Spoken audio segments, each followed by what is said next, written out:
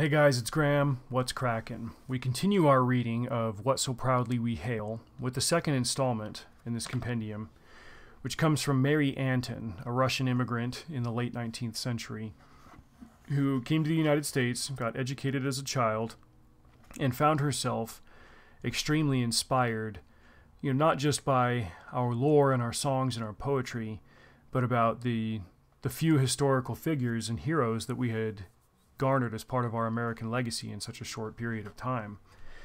She says right here after she reads about uh, the Star Spangled Banner, reads the lyrics of it, she says, Where had my country been until now? What flag had I loved? What heroes had I worshipped? The very names of these things had been unknown to me. Though she had a very strong ethnic bond with Russia and the cultures thereof, uh, she didn't enjoy the concept of heroes. Uh, but when she came over to the states and she started to learn about the American Revolution and George Washington, the uh, the so-called father of our country, you know, the the indispensable man, she felt completely inspired to adopt this man as one of her heroes. Um, looking back at the last 246 years since the signing of the Declaration of Independence, we have a, a long roster of historical figures that we can be inspired by and that we can be proud to say are American heroes. Uh, you know, people that inspire us to improve our own personal legacies, to add to the uh, the brightly woven tapestry that is United States history. I've got a book right here that you have no doubt heard of, and if you haven't heard of the book, you've at least heard of the musical that it has inspired, Ron Chernow's Alexander Hamilton. I was lucky enough to read this book before I heard about the musical, almost right before I heard about the musical in 2015.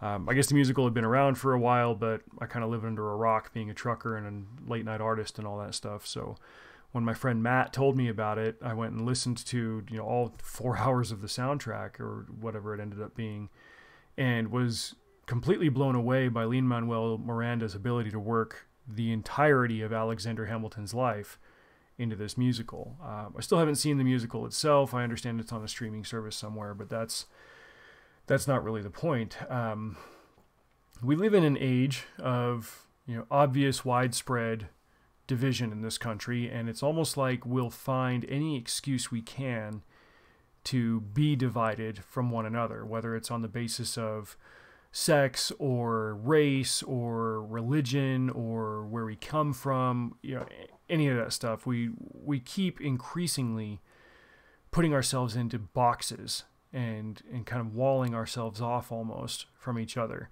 um, taking apart the soup that is the American experiment. I I almost regret the level of naivete that I had when I first saw that, or first heard the the songs from Miranda's musical because I thought maybe this is finally it. Here's a here's a full cast of uh, Latinos and Black Americans that are singing about these founding fathers and these early American figures that didn't look like them, but they're adopting them as their own. This is incredible. Um, in the years since then, much like everything else in American culture and society, even the musical of Hamilton has been turned into this divisive thing, you know, not just by the fans of it, certain cast members, you know, whatever. It's it's almost a tragedy. Like we have this opportunity to kind of revel in our shared culture, but once again we find ourselves tearing down our own heroes or tearing down our connections to them. Um, it's just it's a travesty. You know, I, I look at the historical figures that we've had in the short life of this nation, and there's no shortage of them.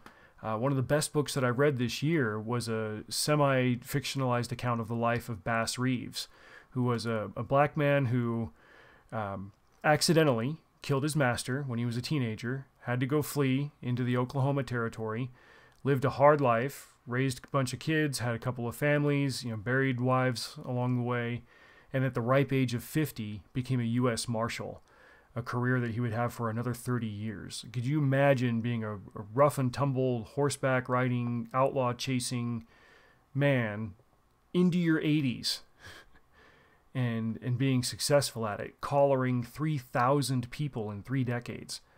you know, bringing in, in bounties, bringing justice to those who would otherwise escape it. I don't look like Bass Reeves. I'm not as tall as he was. Got a little bit of a complexion difference here, if you might have noticed. I don't care. He was an American, and I, I look at him as a hero, a man who overcame the limitations of his situation and did not accept them. Um, Gary Paulsen, who wrote that account of him, you know, laments in the epilogue that uh, we don't even know where Bass Reeves is buried, and I don't know if he's a figure that I read about in public school. You know, I had, and I had great teachers. I understand there's a huge breadth of material to cover in a short period of time. I've talked about that before. Um, you know, but I've got a great attachment to so many American heroes that that don't look like me, and they don't have to. They have embraced the American ideal. They have assimilated themselves to it. Shouldn't we all? Um, you know, Benjamin Franklin famously said, We have a republic if we can keep it. And if we can keep it, that's a matter of, of our own will, each of us individually, all 330 million people that are in the United States.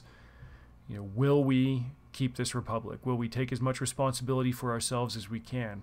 Will we make the most of ourselves that we can? That's what Bass Reeves did. That's what Alexander Hamilton certainly did. And that's what this young girl, Mary Antin, did. And I, I think that's the value of that story being included in What So Proudly We Hail. So, uh, again, I highly recommend you guys check out this compendium.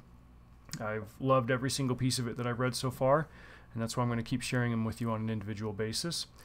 Uh, until next time, check out other reviews that I write for fiction, sci fi, and fantasy at upstreamreviews.com.